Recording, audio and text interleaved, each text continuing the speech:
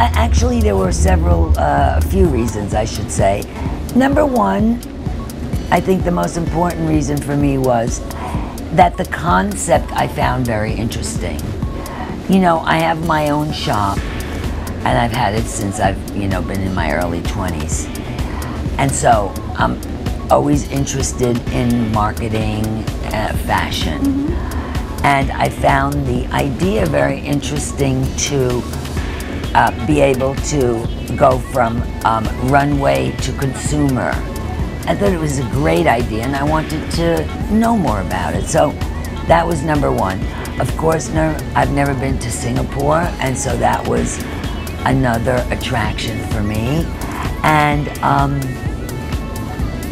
I guess those are the main two attractions. And then, of course, to see, you know, what Singapore fashion young fashion designers uh, were doing and what was going on here fashion-wise. to see that, that transition in such a short period of time, it's kind of like it's like watching uh, what do you call it? Stopgap photography. I mean, you could you watch something appear and develop like in one view.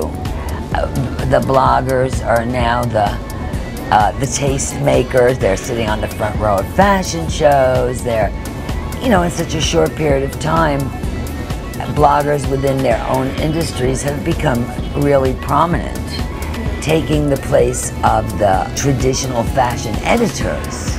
Recently, I was uh, I had a project where I had to do some styling, and they were saying, you can make your own ideas and categories and style them. I said, okay. And one of my categories was fashion blogger on the front row.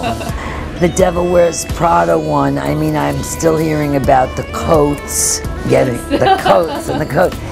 And that's really a funny story because the director and writer of Devil Wears Prada, David Frankel, who's a great guy who I had worked with several times before, the original script didn't have that scene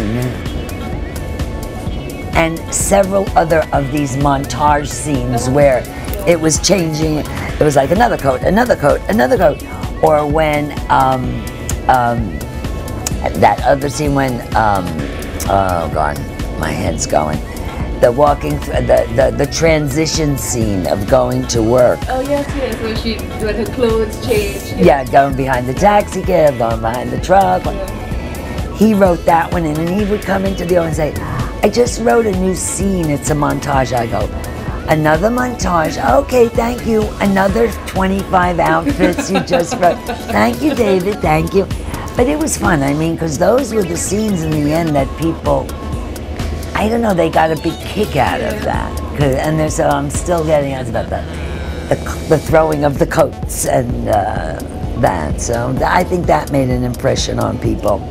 I would definitely vote. And You know, politics is one of my hobbies. I actually, my education was, I went to NYU, I studied government, philosophy, and history, and languages. So politics has continued to be a secret, not a secret hobby, but a hobby of mine. Not a, I never went into it professionally, mm -hmm. but I'm very, very attuned to it.